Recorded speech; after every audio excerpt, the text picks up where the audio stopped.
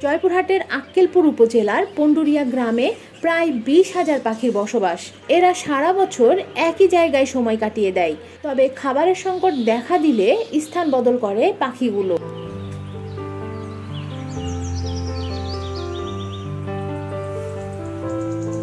বাসা বাঁধার সময় এরা পানকৌড়ি ও বকের সাথে বিরাট কলোনি গড়ে তোলে।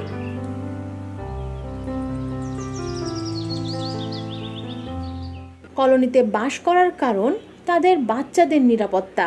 চিল বাজ পাখি কাক কিংবা মানুষ এদের ছানাদের ক্ষতি করতে এলে ঝাঁক বেঁধে তেড়ে আসে।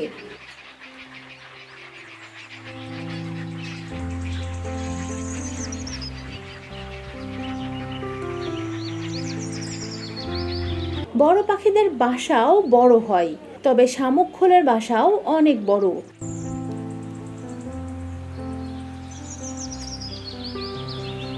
বড় বড় আম গাছ, শিমুল গাছ, বট ও অশ্বৎ গাছের উঁচু ডালে বাসা বাঁধে।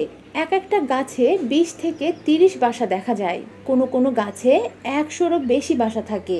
গাছের শুকনো ডাল ও লতাপাতা সমন্বয়ে বাসা তৈরি করে শামুক খোলা পাখি।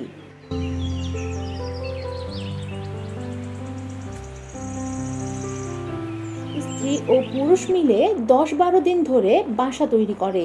বাসার দৈর্ঘ্য পাঁচ ফুট পর্যন্ত হয়।